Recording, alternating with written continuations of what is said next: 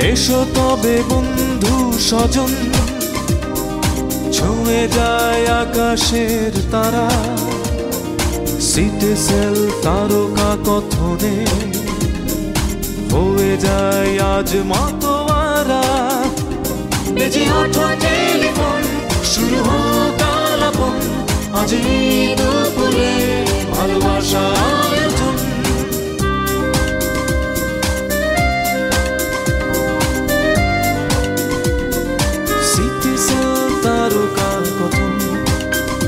অনুষ্ঠানে প্রথম টেলিফোন দাতার জন্য থাকছে স্টার সিনেপ্লেক্সের পক্ষ থেকে একটি শোয়ের দুটি টিকিট ফ্রি। এছাড়া একজনের জন্য থাকছে এভরিডের পক্ষ থেকে প্রীতি উপহার। আপনার গিফটটি পৌঁছে যাবে সুন্দরবন কুরিয়ার সার্ভিসের মাধ্যমে খুব শীঘ্রই।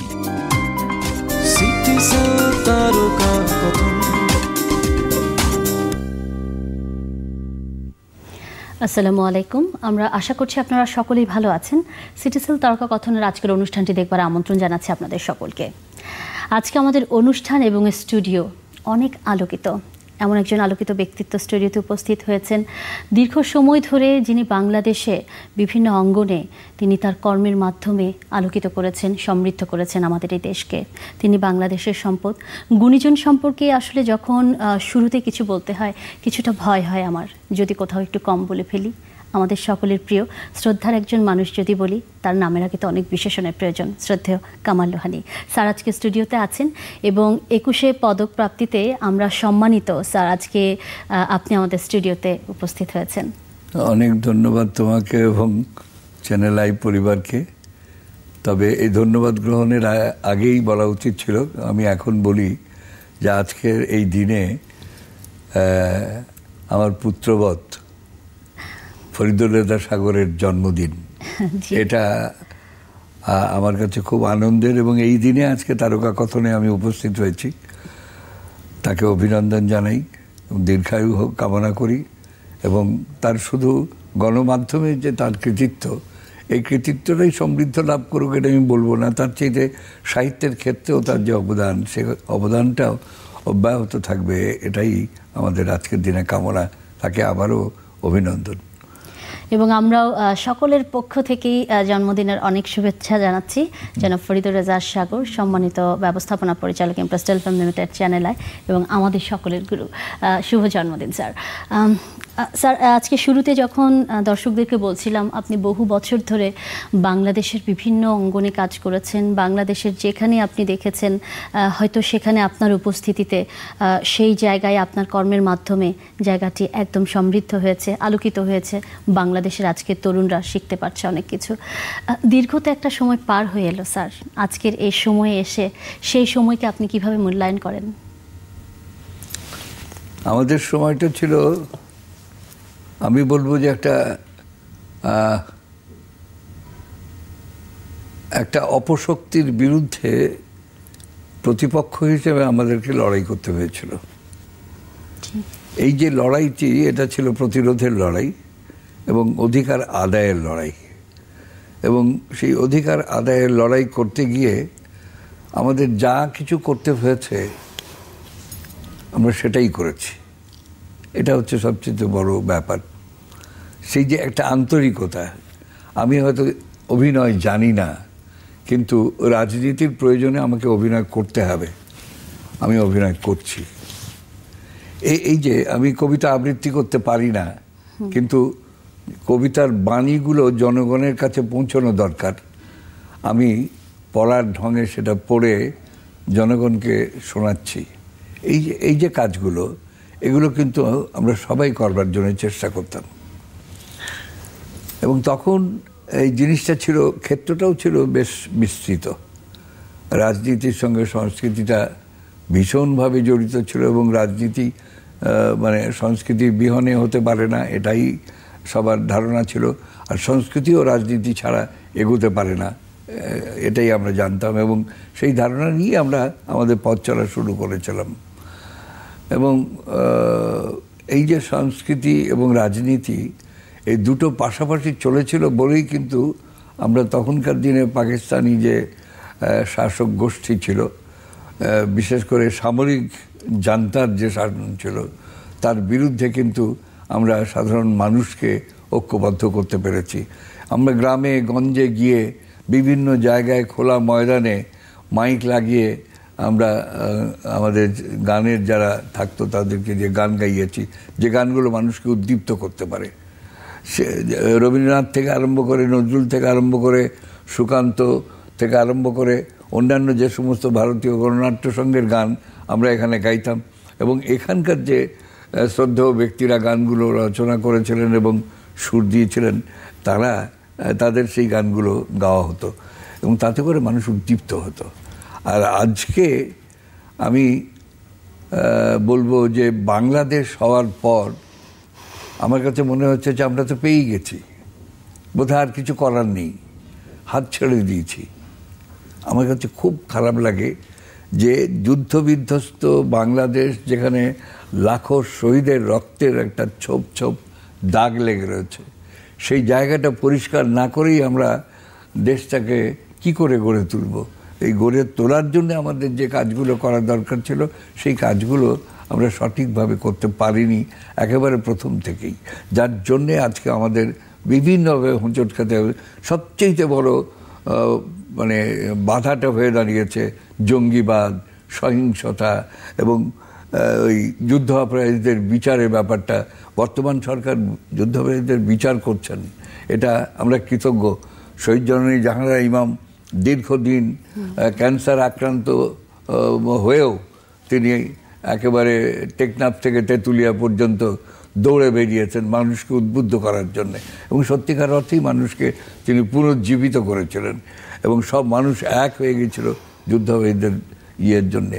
আজকে মাঝখানে ভাটা পড়ে গিয়েছিল কিন্তু এই সরকার যখন তাদের প্রতিশ্রুতি রক্ষা করে কাজ বিচার আরম্ভ করেছেন। একজনে তো ফাঁসি হয়েওছে আর একজনে হবে আশা করছি।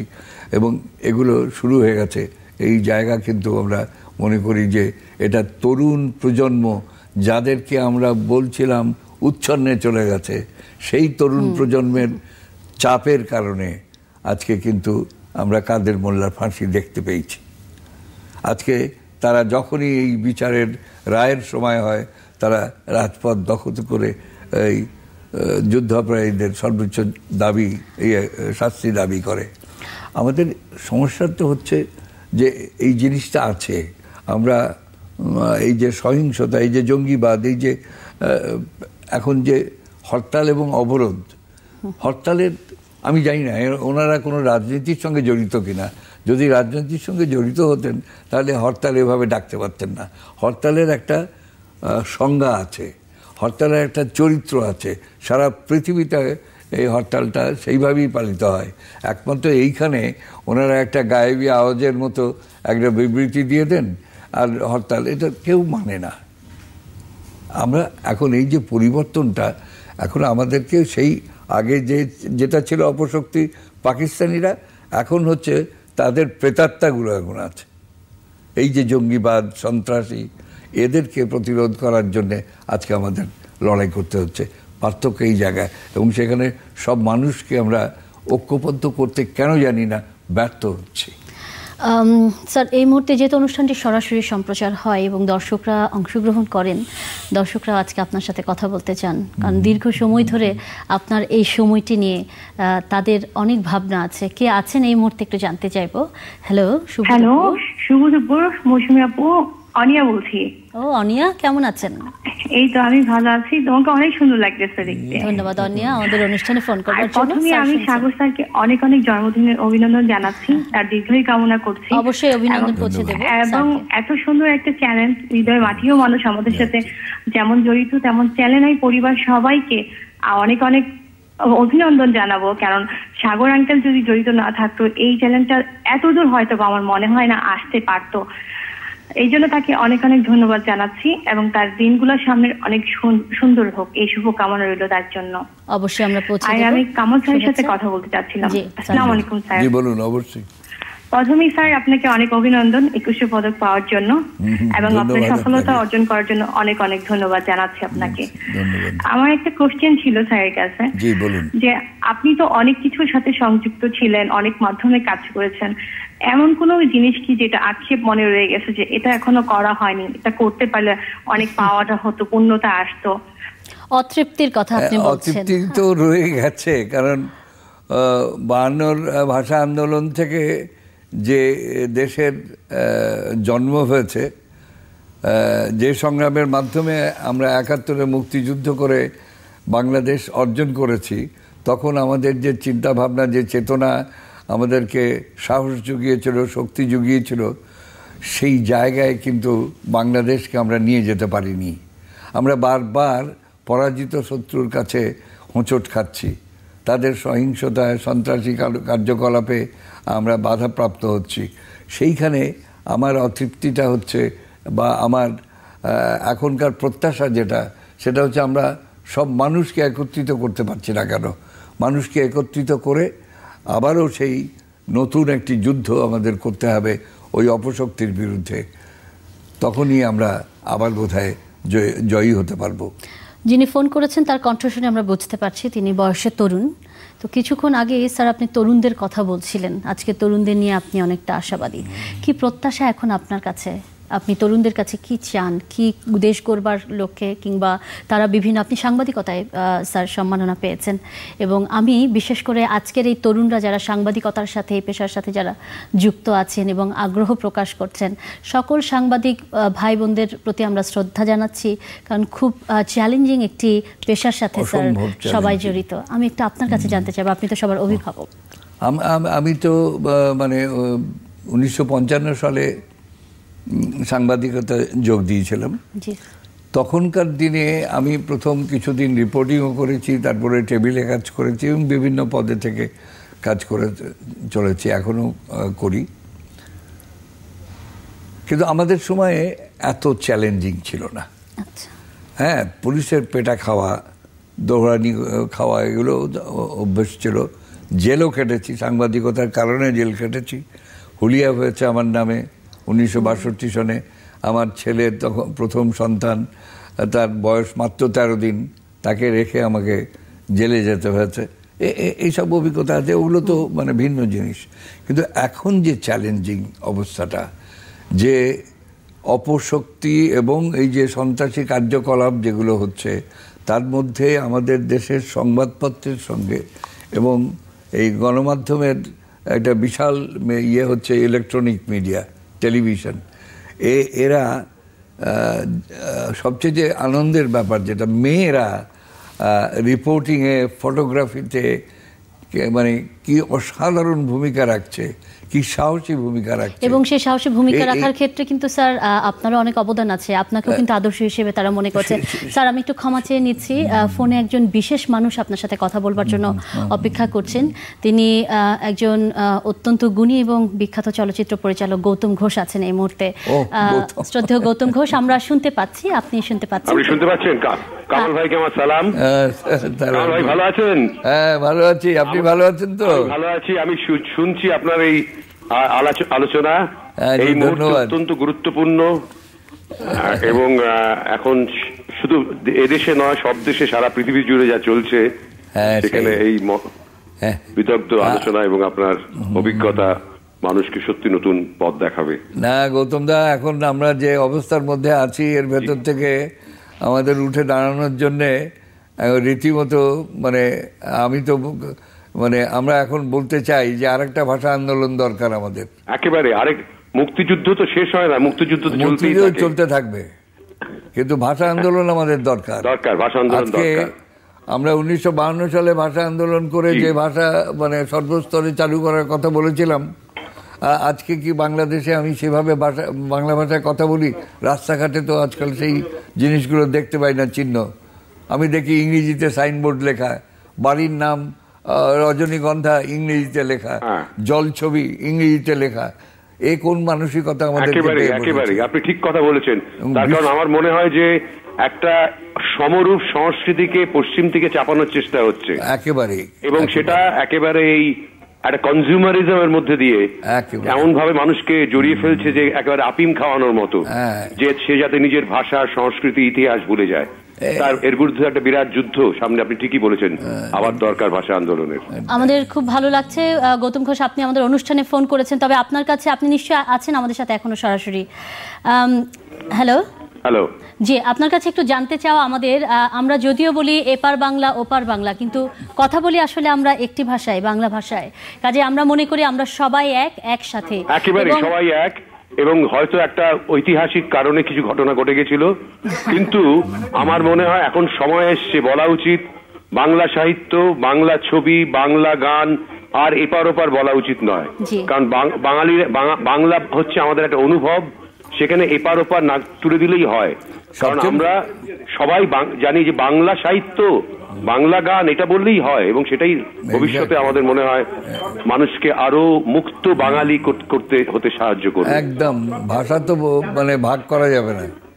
ভাষা ভাগ করা ভাষাকে তো ভাগ করা যাবে এবং আপনার সৃষ্টির মধ্য থেকে মধ্যেও আমরা সেটা উপলব্ধি করতে পারি আমরা সকলে এক কারণ আপনি যখন আপনার চলচ্চিত্র নির্মাণ করেন তখন সেখানে বাংলা ভাষাতেই কিন্তু আমরা শুনতে পাই। আপনাকে অনেক শ্রদ্ধা এবং ধন্যবাদ জানাচ্ছি আমাদের অনুষ্ঠানে ফোন করবার জন্য। হ্যাঁ ভালো থাকবেন। আচ্ছা ভালো থাকবেন ভাই? হ্যাঁ, দেখা হবে। আমাদের ভীষণ ভালো লেগেছে এবং আমরা জানি একুশে ফেব্রুয়ারি অমর একুশে ফেব্রুয়ারিতে আন্তর্জাতিক মাতৃভাষা দিবসকে সামনে রেখে ওনারা একটি বিশাল বড় একটি টিম নিয়ে মুখ্যমন্ত্রী মাননীয় মুখ্যমন্ত্রী মমতা ব্যানার্জির সাথে ওনারা এসেছেন সবাই মিলে এবং তারা একুশে ফেব্রুয়ারিতে শ্রদ্ধা জানাতে এসেছেন। আমরা সকলকেই এই আন্তর্জাতিক মাতৃভাষা দিবসে যারা বিশ্বের বিভিন্ন দেশ থেকে যারা বাংলাদেশে এসে শহীদ মিনারে একুশে ফেব্রুয়ারিতে যারা ভাষা সৈনিকের প্রতি শ্রদ্ধা জানিয়েছেন আসলে আমরা ধন্যবাদ নয়। আমরা সবাই মিলে এক হয়ে এই শ্রদ্ধা জানাতে চাই সারা জীবন। আপনাদের প্রতি কৃতজ্ঞতা রইল আমাদের। স্যার আমরা যেহেতু কথা বলছি তরুণদের নিয়ে কথা বলছি আপনার দীর্ঘ সময় জুড়ে আমরা একজন দর্শক আছেন আমাদের সাথে। আহ, হ্যালো কেউ আছেন কি সাথে? জি মৌসুমী আপু আমি আছি নাসির খান রাজবাড়ি থেকে। জি নাসির বলুন। জি আমি একটু স্যারের সাথে কথা বলি। হ্যাঁ বলুন। অবশ্যই। স্যার আমি উদিতি শিল্পী গোষ্ঠী রাজবাড়ী জেলা সংসদের পাঁচ হাজার ও পাঁচ চক্র বিষয়ক সম্পাদক। আপনাকে আমি কাছের মানুষ বলি এই কারণে যে আপনি আমাদের উদিতি শিল্পী গোষ্ঠীর সভাপতি। অবশ্যই, আমাদের উদিতি শিল্পী গোষ্ঠী একুশে পদক পেয়েছিল এটা ছিল খুব বড় একটা পাওয়া আমাদের এবং আপনি একুশে পদক পেয়েছেন সেটাও আমাদেরই পাওয়া। আপনাকে অভিনন্দন। আমি আপনার কাছে দুটি প্রশ্ন করব সেটি হচ্ছে দেশ স্বাধীনের আগে আপনি অনেক আগেই রাজনীতি ও মার্ক্সবাদী আদর্শ বুকে ধারণ করেন। তো তখন আপনি একটা সংগঠন গড়ে তোলেন ক্রান্তি, আপনার সেই সময়ের চেতনা, চিন্তাধারা কি ছিল? সেই সম্পর্কে জানতে চাই, আর উদিতি শিল্পী গোষ্ঠী সম্পর্কে আপনার মতামত কি? একটু দেশবাসীকে জানিয়ে দিবেন। ধন্যবাদ। না, তখন তো ক্রান্তি যে চিন্তা ভাবনা থেকে করা হয়েছিল, সেটা ছিল মেহনতি মানুষের এবং সমাজ পরিবর্তনের লক্ষ্যে যে আদর্শিক চিন্তা ভাবনা নিয়ে এই পথে আমরা পা বাড়িয়েছিলাম সেইটাকে কি করে বাস্তবায়ন করা যায়, তার জন্যে আমাদের রাজনীতিটা প্রধানত কাজ করেছে। এবং সেখানে সাংস্কৃতিক আন্দোলনে যেমন ক্রান্তি শিল্পী গোষ্ঠী যখন ছিল, আমরা কোনো দিন কোনো মিলনায়তনে বা ঘরের ভেতরে কোনো অনুষ্ঠান করতাম না। সব সময় খোলা ময়দানে করতাম। বৃষ্টির সময়ই হোক আর শীতের সময়ই হোক, খোলা ময়দানে করেছি।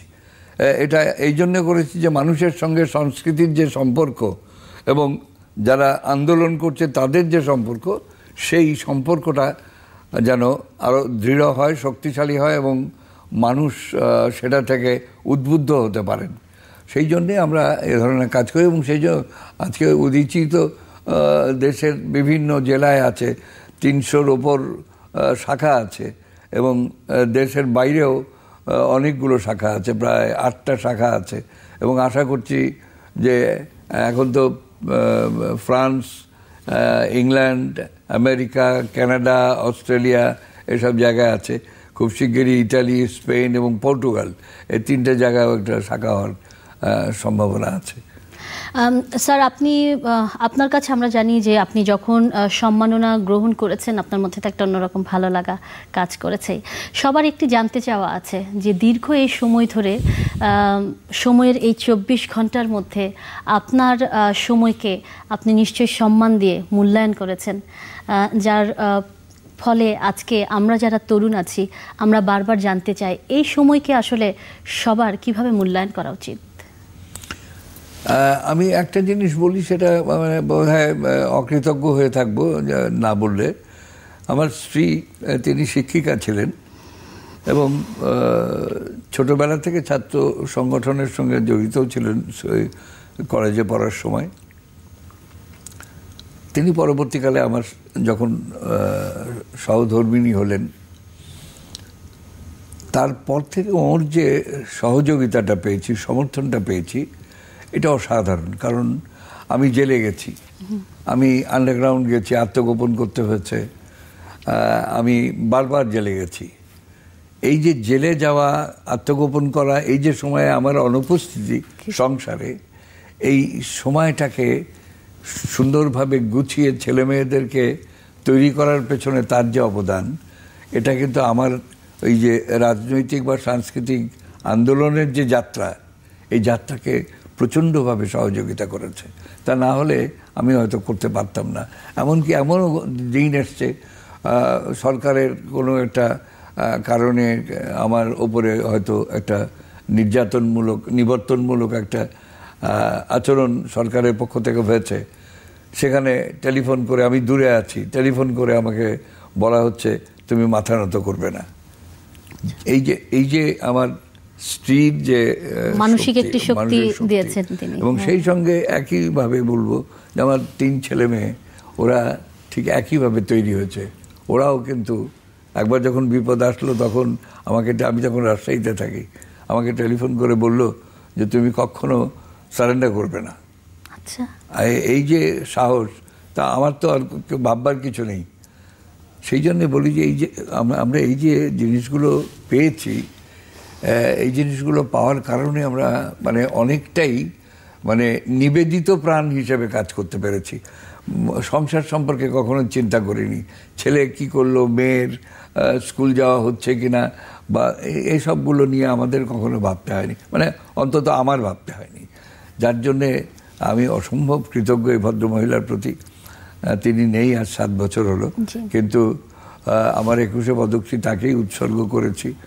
এবং মানে আমার কয়েকজন বন্ধু টেলিফোন করে কেঁদে দিয়েছেন যে আজকে যদি ভাবি থাকতো বৌদি থাকতো তাহলে সবচেয়ে বেশি খুশি বলে সে হতো। এটা অবশ্যই কথাটা ঠিক। আমরা আজকে আরেকবার স্মরণ করছি শ্রদ্ধা জানাচ্ছি ও চ্যানেলের পক্ষ থেকে। এখন আমি বিয়ের কথাটা বলি যে আজকে আমরা খুব মানসিকভাবে পীড়িত হয়েছি। মুক্তিযুদ্ধ করা, ভাষা আন্দোলন করে তারপরে যে দেশটা চেয়েছিলাম, যেভাবে চেয়েছিলাম সেভাবে হলো না। আনতে ব্যর্থ আমরাই হলাম। কারণ যারা লড়াই করেছিলাম তারাই তো এনেছিলাম, কিন্তু এনে সেটাকে সে, সঠিকভাবে পুনর্গঠন করার যে কাজ বা দায়িত্ব, সেটা আমরা পালন করতে পারলাম না। সেই জায়গায় আমাদের ব্যর্থতা। ওই ব্যর্থতাটাকে কীভাবে দূর করা যাবে, সেটা আমার কাছে মনে হয় যে একমাত্র তারাই পারে যারা মানুষের সঙ্গে সহবাস করে, যারা মানুষকে ভালোবাসে, মানুষের কল্যাণ চায়। আমি একটা ঘরের মধ্যে মানে আরোপিত অবরোধ করে জাতীয় দিবসের এবং আমাদের সবচেয়ে গৌরবের ইয়ে আজকে সমস্ত পৃথিবী গ্রহণ করেছে। একশো নব্বইটা দেশ আজকে আন্তর্জাতিক মাতৃভাষা দিবস পালন করছে একুশে ফেব্রুয়ারিতে, এবং আমাদের দেশে একজন নেত্রীকে দেখলাম, তিনি শহীদ মিনারে পর্যন্ত এলেন না শ্রদ্ধা নিবেদন করার জন্যে। এর চেয়ে দুর্ভাগ্য আমাদের কি হতে পারে? দুটি বড় দলের একজন গেলেন না। এই যে দুর্ভাগ্য, এই এই প্রতিকূলতার বিরুদ্ধে আমাদেরকে এখন লড়াই করতে হচ্ছে এবং করতে হবে। গণজাগরণ মঞ্চ তৈরি হয়েছে। গণজাগরণ মঞ্চের যারা মানে তারুণ্যের যে শক্তি উদ্বোধন করেছিল সে একটি অসাধারণ শক্তি ছিল। সেই শক্তি আমাদেরকে কিন্তু সাহস দিয়েছে যে জয় বাংলা বলে আমরা মুক্তিযুদ্ধে যখন ঝাঁপিয়ে পড়েছিলাম, সেই জয় বাংলা আবার স্লোগান হিসেবে আমাদের মাঝখানে পুনর্জীবিত হয়েছে। শহীদ জনের জাহানা ইমামের নাম উচ্চারিত হচ্ছে। যুদ্ধাপরাধীদের বিচারের জন্যে আমরা সবাই সমবেত হয়েছি লাখ লাখ মানুষ দিন রাত বাচ্চা থেকে বুড়ো পর্যন্ত গান গাইছে কবিতা পড়ছে নাটক করছে স্লোগান দিচ্ছে। এবং সবার মধ্যে তো একটাই শুধু স্বপ্ন বাংলাদেশ বাংলাদেশ, বাংলাদেশ এই মুহূর্তে একজন দর্শক আছেন বাংলাদেশেরই একজন সন্তান আছেন। কে আছেন? শুনব তার কথা। হ্যালো প্রিয় উপস্থাপনার মানুষ মৌসুমী আপু আসসালামু আলাইকুম শুভ দুপুর। শুভ দুপুর। কণ্ঠ শুনে বুঝতে পারছি পান্নু ভাই। হ্যাঁ পান্নু ভাই কেমন আছেন আপনি? অনেক ভালো আছি। প্রথমে আমি ফরিদুর রেজা সাগর সাহেবের জন্মদিনের শুভকামনা করছি যার মুখ্য পরিকল্পনায় বাংলা সংস্কৃতির সুষ্ঠু প্রচার চ্যানেলাই করে থাকেন এবং আমরা উপভোগ করে থাকি। আর আপনারা প্রচার করেন আমরা উপভোগ করি দর্শকরাই অনেক মানে বেশি সমাদৃত হয়ে থাকে। আমরা কৃতজ্ঞ চ্যানেলের প্রতি। কামাল স্যারের আমাদের জাতীয় সাংস্কৃতিক বর্তমান কালের একজন দিকপাল স্যারের সাথে একটু কথা বলব। জি অবশ্যই। বলুন স্যার সালাম আলাইকুম। সালাম স্যার আপনার একুশে পদক পাওয়ার জন্য এই জাতি আমরা কৃতজ্ঞ। ধন্যবাদ। আর আপনি মাত্র স্যার তরুণদের কথা বললেন। আহ, আমার জিজ্ঞাসা স্যার প্রজন্মরাই তো জাতির ভবিষ্যৎ। অবশ্যই। কিন্তু আমরা দেখছি আলবদর রাজাকারের দোসররা নতুন প্রজন্ম নিয়ে যে খেলা খেলছে। এটা সম্পূর্ণ নিধন করা আমাদেরই দায়িত্ব এবং আমাদেরই কর্তব্য। আপনি এই ব্যাপারে কি মনে করেন? এটাই আমার আজকে জিজ্ঞাসা স্যার। ধন্যবাদ আপনাকে কিন্তু আমি আপনার কথা জবাবে এটুকু বলতে চাই যে আমাদের অনেক কঠিন হতে হবে আরও কঠোর মানে পদক্ষেপ নিতে হবে রাষ্ট্রের নিতে হবে সরকারকে নিতে হবে এবং ঐক্যবদ্ধ জনগণের শক্তি নিয়ে আমাদের তাদের প্রতিরোধ করতে হবে। তাছাড়া আমাদের কোনো নিস্তার নেই।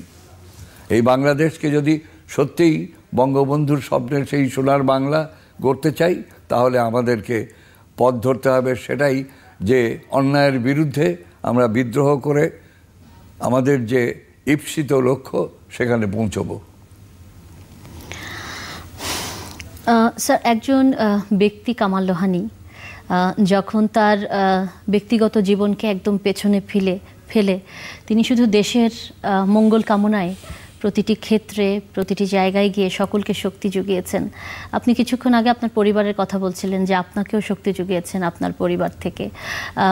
আজকের এই অবস্থানে এসে যদি জানতে চাই, আপনি আপনার পরিবারের কথা, আপনার সন্তানদের কথা যদি বলেন যে আসলে আপনার এখন এই পরিবারটিকে নিয়ে আপনার এখন কি স্বপ্ন আছে? সন্তানদের মাঝে এই দেশ করার এই কথাগুলো তো নিশ্চয়ই তারা একদম ছোটবেলা থেকেই তো তারা তাদের কাছে গ্রহণ করেছেন। কি বলবার আছে আপনার যারা দেশের আরও সন্তান আছেন? অবশ্যই আমরা চাই যে নিজের দেশকে ভালোবাসতে হবে। যেসব দেশপ্রেমটা নিজের ভেতর থেকে আসতে হবে, এটা তো কেউ শিখিয়ে দিতে পারবে না কে আরোপ করে দিতে পারবে না। সেই জন্যে দেশকে ভালোবাসতে হবে। দেশকে আমি মা বলি। একটি শিশুর জন্ম হয় যে চিৎকারটি দেয়, সে চিৎকারটার শব্দের অর্থ হচ্ছে মা। এই যে জননী জন্মভূমি, যাকে আমি স্বর্গাদেবী গরিয়সী বলে সম্বোধন করি, সেই দেশকে আমার প্রথম ভালোবাসতে হবে এবং তারপর হচ্ছে দেশের মানুষকে ভালোবাসতে হবে। এই মানুষকে ভালোবাসার জন্যে আমার শিক্ষার দরকার, আমার জ্ঞান অর্জন দরকার আমার নানা ধরনের কাজকর্মের মাধ্যমে প্রগতিশীল চিন্তাভাবনার কাজ করতে হবে, যেটা মানুষের কল্যাণে লাগে।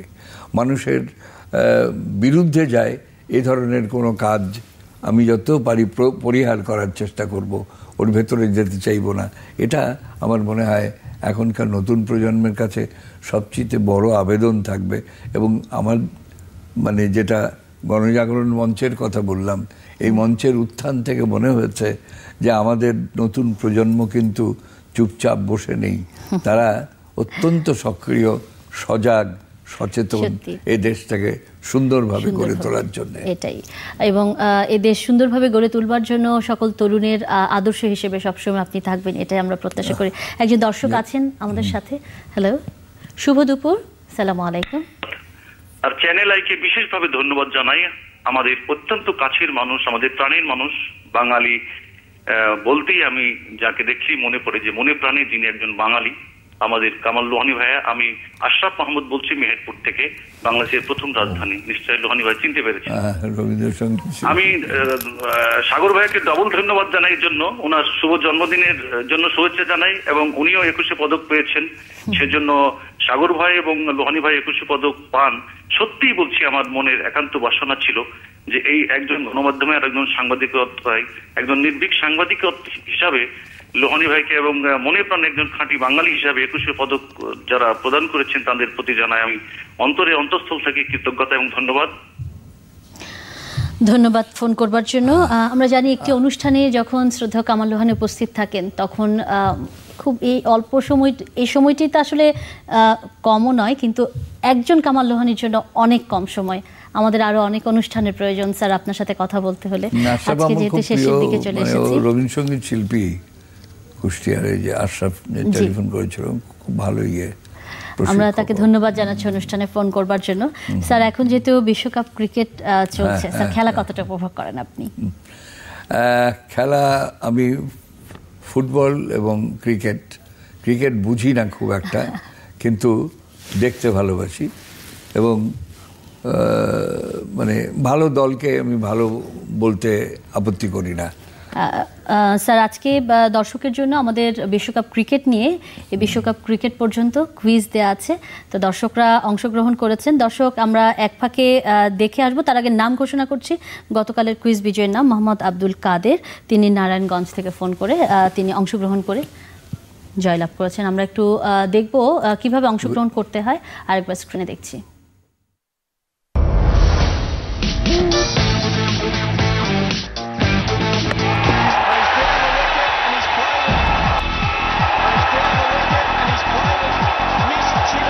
জিতে নিন প্রতিদিন একটি আকর্ষণীয় মোবাইল হ্যান্ডসেট অংশ নিন চ্যানেল আই ক্রিকেট কুইজে। আপনার মোবাইলের মেসেজ অপশনে গিয়ে টাইপ করুন সিএইচআই এবং পাঠিয়ে দিন সিক্স নাইন সিক্স নাইন নম্বরে। এরপর আপনার কাছে আসা ক্রিকেট কুইজগুলোর সঠিক উত্তর দিন। প্রতিদিনের সঠিক উত্তরদাতা টপ স্কোরার পাবেন ইজি ডট কম ডট বিডির সৌজন্যে একটি আকর্ষণীয় মোবাইল হ্যান্ডসেট বিশ্বকাপ ক্রিকেট আনন্দে মেতে উঠুন চ্যানেল আইয়ের সঙ্গে। রেডিও পার্টনার, রেডিও ভূমি, বিরানব্বই দশমিক আট এফ এম স্যার আমরা আপনার প্রতি কৃতজ্ঞতা এবং শ্রদ্ধা জানাচ্ছি এবং আজকের। অনুষ্ঠানের এখানে ইতি টানছি। আপনি ভালো থাকবেন। আমাদের সবার জন্য অনেক দোয়া আশীর্বাদ করবেন।